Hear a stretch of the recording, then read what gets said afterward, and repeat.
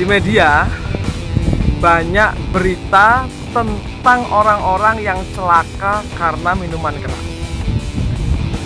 Ini gimana? Kan sudah jelas lagunya.